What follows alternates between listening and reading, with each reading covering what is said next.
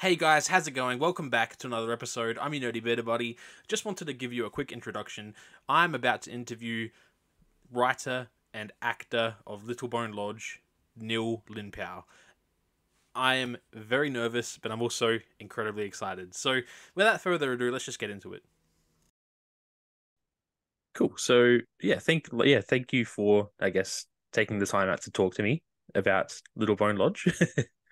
No, as I say, it's um, it's it's so nice. It's so nice to get to talk to people about it, and so nice to see that it's you know it's it's it's getting a, a, an audience in more places than than little old England where it was made. You know, um, so no, I really appreciate you taking the time to watch it and to talk about it, and and, I, and I'm glad that you uh that you found it. You know.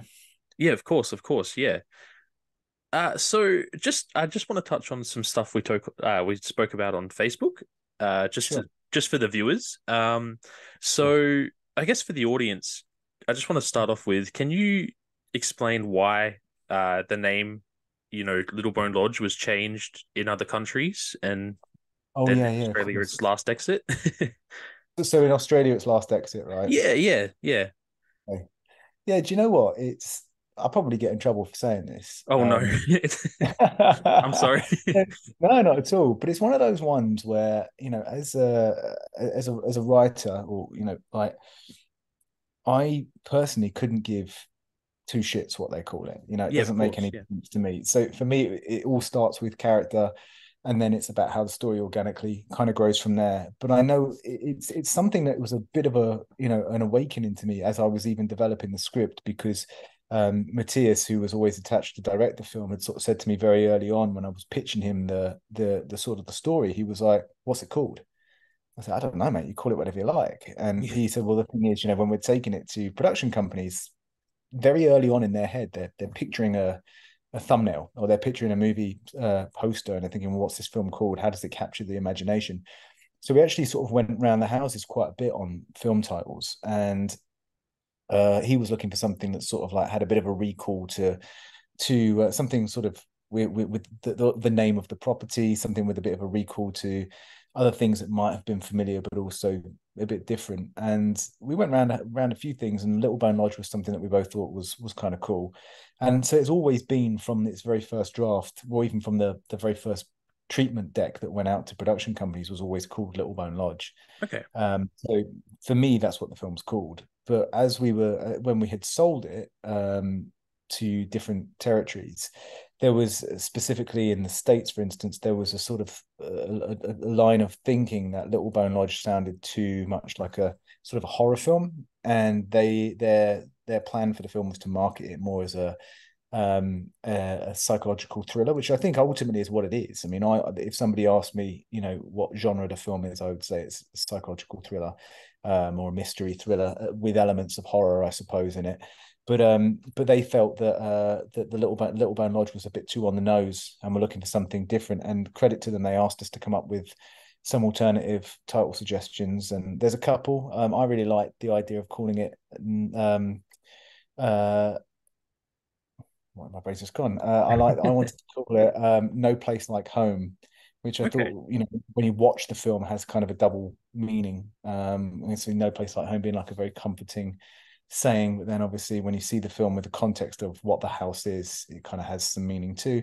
And I also like the the the title "Last Exit to Nowhere."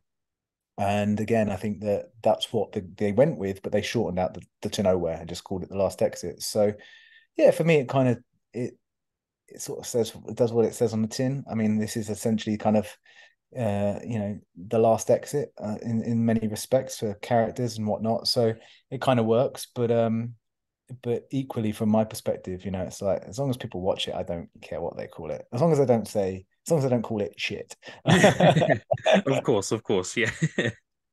no, awesome. Yeah, thank you for that. So obviously, you wrote and you starred in the film. When mm. writing this movie and your character, Jack in particular, did you know mm. from the start you were going to be playing Jack? I think we spoke about this again on Facebook, but just for the audience.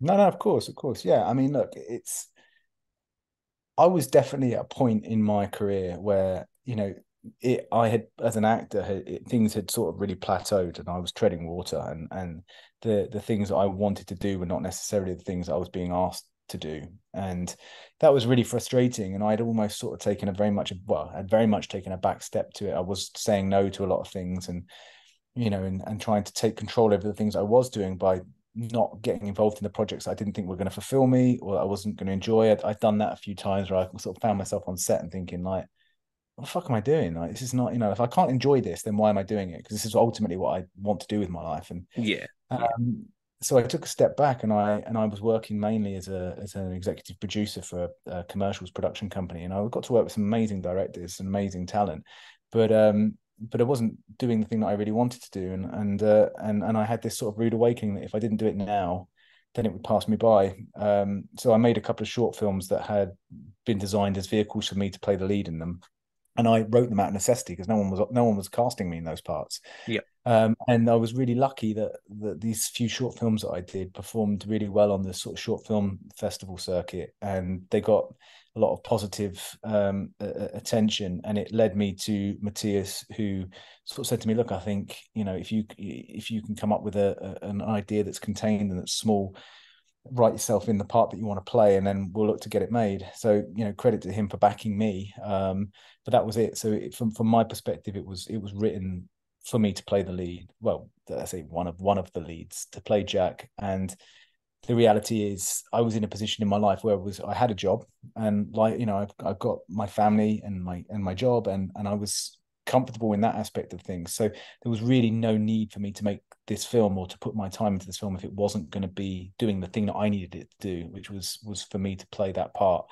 So that was uh, that was my line in the sand with it. You know, I didn't care about uh, money and I didn't care about you know uh, a lot of the other stuff that sometimes can you know you can get hung up on when you're trying to make a film. My, my thing was like you do what you want as long as you know I get to play the part that I've written for myself and I was fortunate that both Matthias, the director, and the producers, uh, and Mark Lane, um, they they they stuck to me. They stuck with me um, because I, I I know just from a from a business perspective, it's always going to be easier to finance a film when you've got people in the film that everybody knows, you know, or at least has you know what, what you consider to be commercial value, um, recognizability, and and I, and I don't bring that to the film. So, um, yeah, it was it it's easy enough to say I wrote it for me, but you've still got to get someone who then says, "Fine, well, we're gonna we're gonna support you and make sure that money gets put into it to do that film." So, yeah, that's a long-winded way to answer your question. I'm sorry, but no, no, uh, that, that's great. That's awesome. That's great.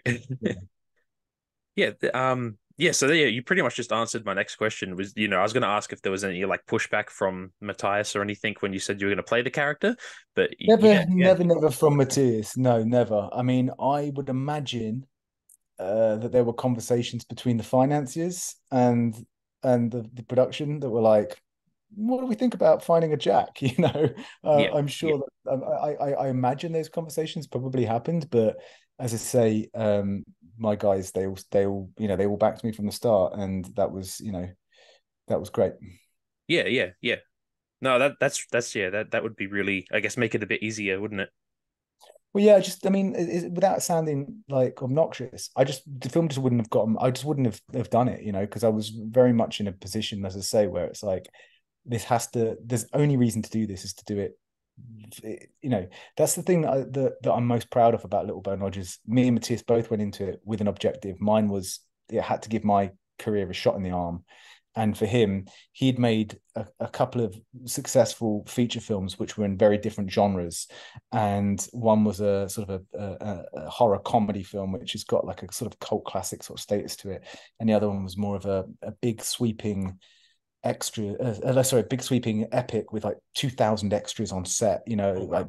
like feudal battle scenes set in like you know uh, feudal japan and things with dave bautista and you know, a lot of fun that film. But he wanted to make something that showed actors that he could work with actors because you know he'd done a broad comedy and then he had done a big sort of you know effects driven action film.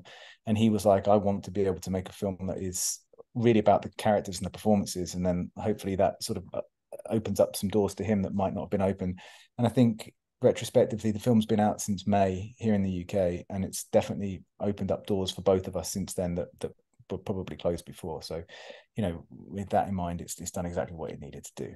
Yeah, um, yeah. So we're, we're really lucky. So, do you think pl- it was a bit easier to play the part of Jack because you wrote the character, like it was your own sort of, I guess, like your own vision that you you had written? Yeah, no, I, I think so. I think when you're when you're writing something and you and you have an understanding of, uh, or when you're playing something, um, ordinarily you have to to start with trying to build a sense of who this person is. But when you've written it, you've done so much of the prep work that an actor would normally do just in, you know, sort of building the character and understanding who they are and where they come from.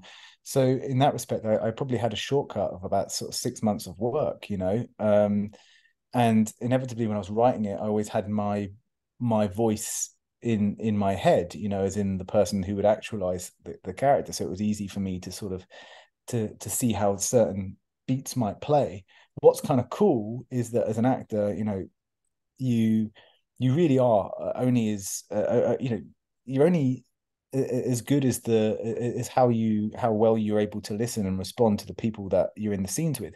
So if I had come into any one of those scenes with these really locked in ideas that I'd had from the day that I wrote them and not been flexible or not been listening to the people who were in the scenes with me and how they were interpreting the characters because you know, ultimately that's it. It's all well and good writing something, but the minute you populate it with other people's talent, it becomes a collective vision that belongs to everybody.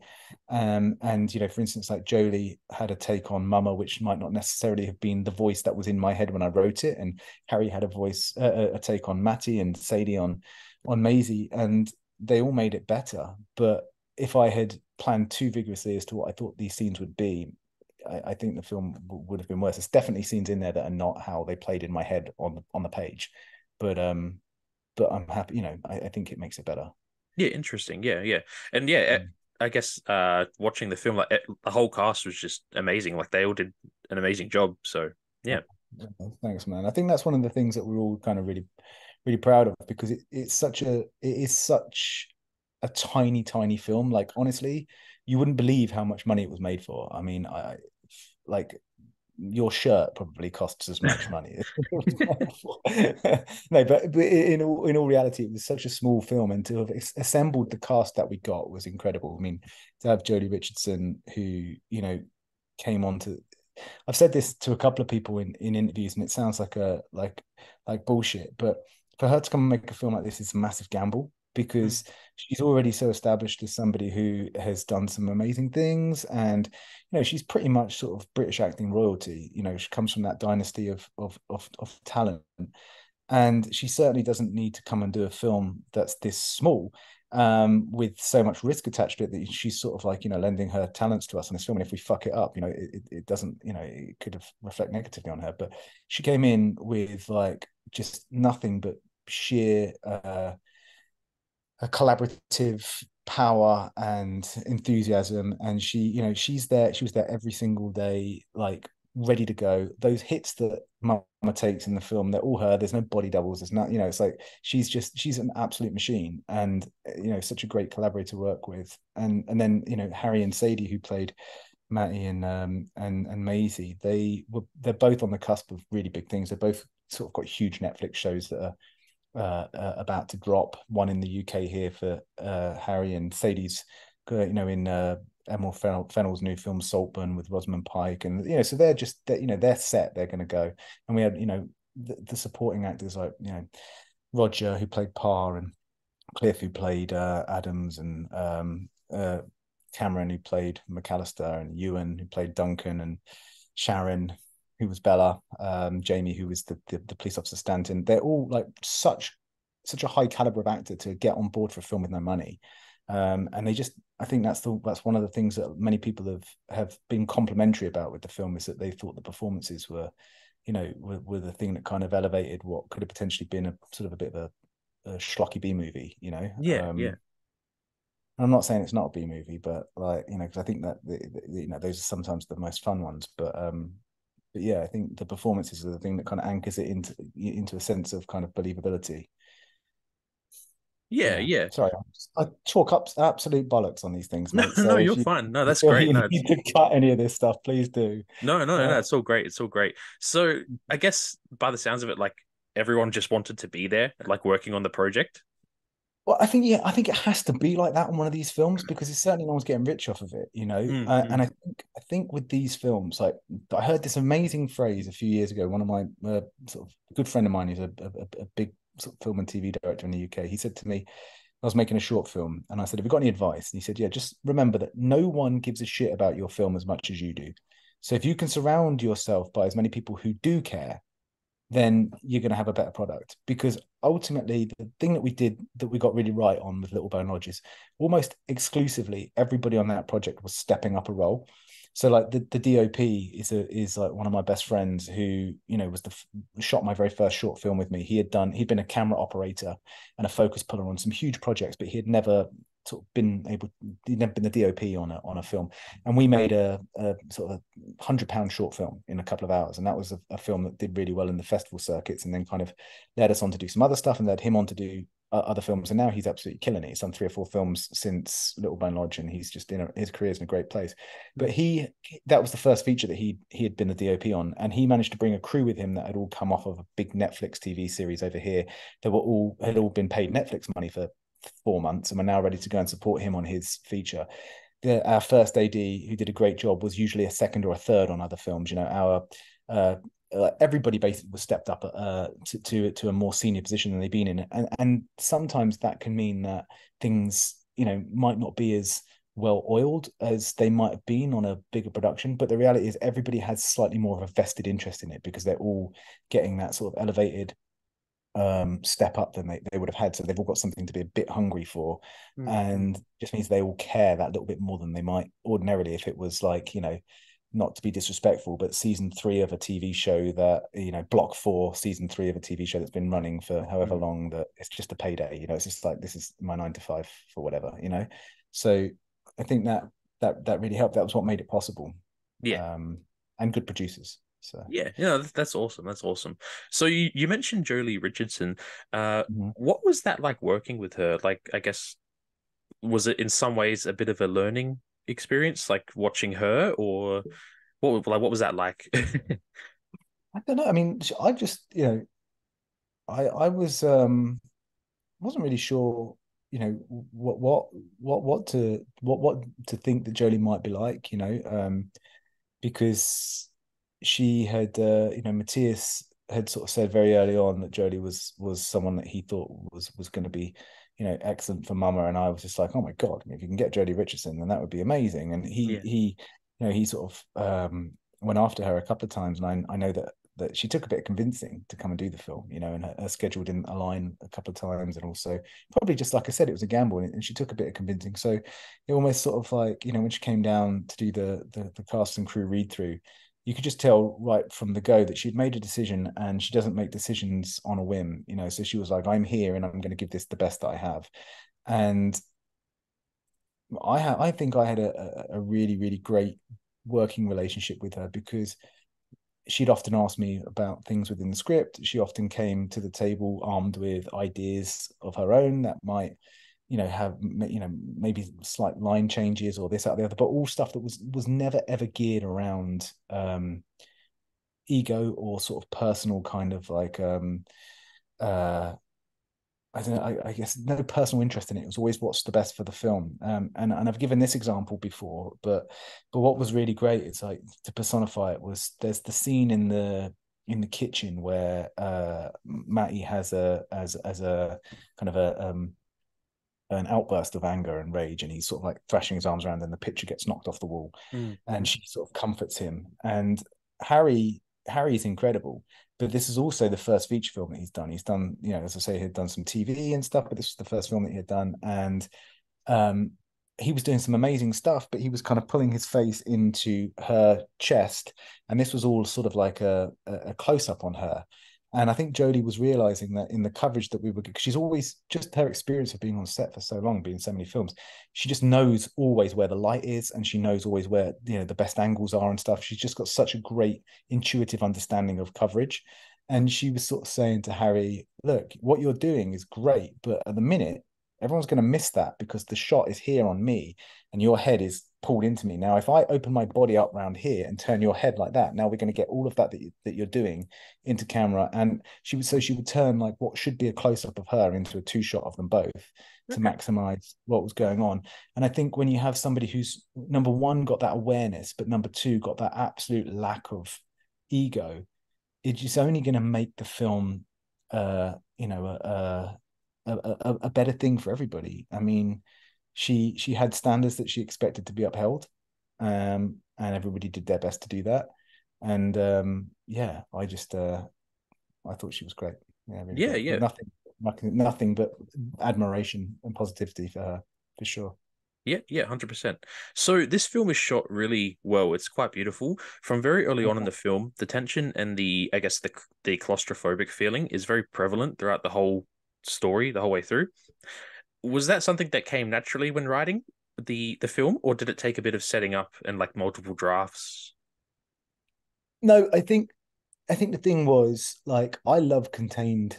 You know, to answer that sort of twofold, I absolutely love contained films. Like you know, I I'd love to I'd love to try uh, and be as clever as possible with with the writing. I think that um, the best films have some sort of sense of misdirection or a rug pull that kind of you know will, will, will surprise an audience. And I was you know very keen to do that. And you look at some of those some of those films um, that I would have grown up with that you know around the around the 90s and stuff that's sort of the the uh, films like The Usual Suspects and Primal Fear, um, some of David Fincher's early things like The Game and Fight Club, and uh, they're all films that, that, that rely on kind of uh, tricking the audience. Then you've got films like Misery, which are all sort of like contained to one location. And I always felt that the best films were the ones where you had to be smartest if you couldn't leave a room or you couldn't leave a property. So did that that was that was something that interested me from a from a narrative point of view. And then from a just a te- uh, just from a logistics point of view like matthias when he when he had seen my short films both of them uh, are set in one one space. So one of them set in a prison cell and one of them set in a, on a hospital ward at night. Um, and that was mainly due number one because I like those contained narratives, but also due to you know being economic in cost. When you're making a short film, if you've got no money, it's like well, let's try not to get around too much, you know. Yeah. So yeah. I had um, I, they had been planned that way, and when we were actually in lockdown when my second short film was was released, and Matthias had seen it, and he was like, "Look, I think, I think." production companies are going to want to make films that can be contained to one location that can be shot in minimal days for a minimal budget and both of your short films are kind of genre films with like a high concept that are set in one one place do you do you have any ideas for a feature that would do that so the sense of that was was uh, of isolation and, and and claustrophobia was in was in there from the very initial concept but but in fairness to matthias and to job the dop you know to, it's easy for me to write that but they have to bring it to life you know and i think that that the credit goes to them for the you know the the the things that you like about it, which is the you know the cinematography and the the camera language um, about how you you create that sense of claustrophobia. Um, you know that's that's that's on that's on them. Yeah, yeah, okay, very interesting. So I guess uh, sticking to the I guess the character side of things for the moment, mm. uh, I really liked the dynamic between the brothers Jack and uh, Matty. Uh, yeah. So I guess in one aspect, you know, I noticed it was, you know, Jack, you know, a little bit frustrated with Matty, but then also coming from a place of love on the other hand. Mm. What was that like? I guess, you know, what was the writing process between the brothers and the inspirations? So, like, I know uh, in general, you just said, like, you mentioned misery, and I got like a lot of Stephen King vibes with the self contained yeah. location, but yeah, yeah. Um, do you know, I think it, it was a couple of things really. So in terms of the brother relationship, like, so I'm one of two brothers, and our relationship couldn't be further from what's portrayed in the film. You know, he's like my best friend. We're very, very close. Um, mm-hmm. But I was really interested in this idea of of um, a forced responsibility, you know, and sort of being forced to be older and grow up uh, faster than you were ready to. I mean, ironically, I, I I wasn't I was a new parent at the time of of the film, you know, of me writing the film, and I was interested in exploring these sort of themes about not actually being fundamentally equipped to be, you know, to be ready to be responsible for somebody else. and you know obviously the the the the the relationship between the two brothers is completely different to any sort of parental relationship that, that I would have with my kids but but there was this sort of sense of like you know uh um a frustration as well at sort of like being you know kind of being now in a situation where it's like I, I don't feel like I'm able to do this but I have to you know mm. um and I thought it would be interesting to see interesting to see like what would happen if you actually push that into something you know um uh, much bigger on a on a film scale. So that's where that started. And I thought, well, okay, well, what what are relationships that could be strained or or, or could be difficult? And um, there is there's neurodiversity that runs through my family as well. And I was kind of really curious to sort of see neurodiversity represented in a film that wasn't about the character's neurodiversity. So you know, you take films like like Rain Man or or um, music or any of these other films that have some sort of portrayal of autism or other other neurodiversities. And the the, the story is always based around that you know um, you never just sort of see a neurodiverse character in a soap opera who just lives in the neighborhood and just gets on with their life. Do you know what i mean? It's always yeah yeah. their always have to be about that. And i just so i wanted to take a character that isn't usually represented in these sort of stories and put them in it. And and i thought that that would help to create a really interesting dynamic between these two guys where they're they're they're intrinsically kind of tied together um, and they'll never be able to separate from each other but they're actually sort of quite toxic for each other at the same time. Mm, um, yeah yeah. because uh, jack ultimately is a character that's kind of bullied and blustered his way through life but believes that everything that he's doing is for the best of his brother but never actually asks his brother what he wants. And matty is a character who is has basically developed like a emotionally unstable personality disorder as he's as he's grown up because he's been sort of like hauled and hoiked around um, and has been never really been able to bond or have um, some a, a, anybody recognize that he has specific needs and should be cared for in a different way. Um, so yeah uh, i guess that, that that was it. It was just trying to create two complex characters with a need that keeps them together, but things that drive them apart. You know? Yeah. Um, yeah. Yeah. Very, very interesting. Very, I guess, uh, touching on the complex characters. Mm. Uh, I noticed, you know, I found myself uh, in the movie, I was like rooting for Jack, and then I realized I was like, oh, but like, no one's really innocent here. like it's like morally, it was like a lot of great. Like it wasn't black and white, and I really, really liked that. Well, yeah, I think that's the point, isn't it? I mean, like, you know, nobody in real life, nobody thinks that they're the bad guy. Yeah. You know, yeah. and and the truth be told, you know, you get you get people do some horrendous things, but very, very few people are out and out evil. You know, there's that sort of daft saying that even bad men love their mums, you know, like it sounds like a stupid thing to say, but like um there is this sort of sense that that there's good there's good capable in everybody. And I think that um that I wanted to to create a story where at any given point you're not quite sure who you should be rooting for, but they should all have some sort of likable and redeemable qualities. So even even Mama, you know, by the time you get to the end of the film, there should be a sense of understanding as to why she's doing what she's doing. And whilst you know, the you role reverse ultimately, where you take the antagonist and the protagonist and you kind of flip them on their heads, I still think that there is something about her that it, it, and it's a testament to the to to Joely's performance as, as, you know as much as what we tried to construct from the the narrative is that you know if you if you like her early on you can somewhat understand or or or or forgive what she does. Not maybe not forgive but understand what she's doing later and still have some sort of sense that you don't want her to get her full on comeuppance you know? And yeah. then the same with with with Jack. Like if you make him too vanilla early on and he's just too like nicey nice then is boring, you know. But if you make him too too horrible, then he's completely irredeemable, and you have to be able to redeem him because I think if you get to the end of the film and you don't care about his character at all, then the film probably hasn't worked for you. So it's about trying to balance that out so that you have this sense of light and shade in all of them. Uh, Matty and the only one who's truly innocent in the film is is probably Maisie and Pa, uh, but yeah, specifically yeah. Maisie.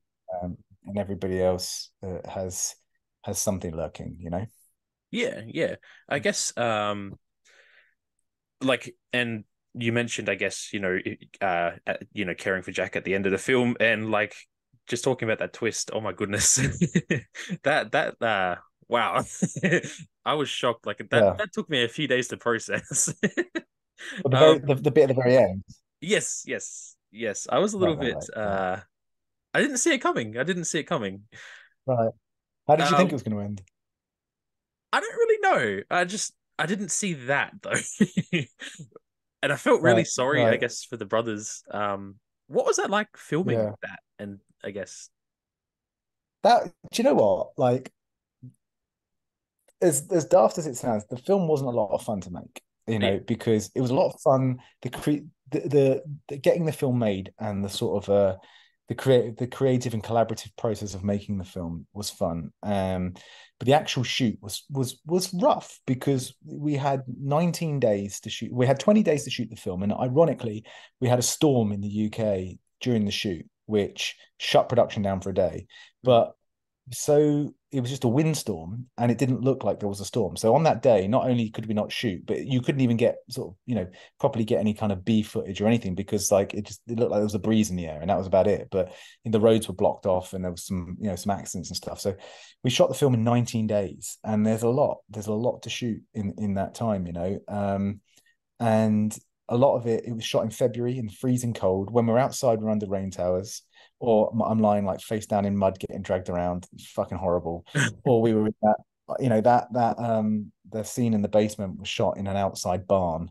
Mm. Um, it was like minus something or other in there, and we were lying on the cold like stone floor all day. It was really quite arduous, and that bit at the end there with the you know in in that room that was probably you know I'd had you know a long old day shooting and we were like we've got 20 minutes to get this. So then I had to sit there while they put the prosthetic on and then kind of like you know I had a wig which then took that off and some other bits and pieces and it was just I, I was just fucked. So that scene there I'm just sort of sitting there with my eyes closed. It was about the most peace I got in the entire shoot.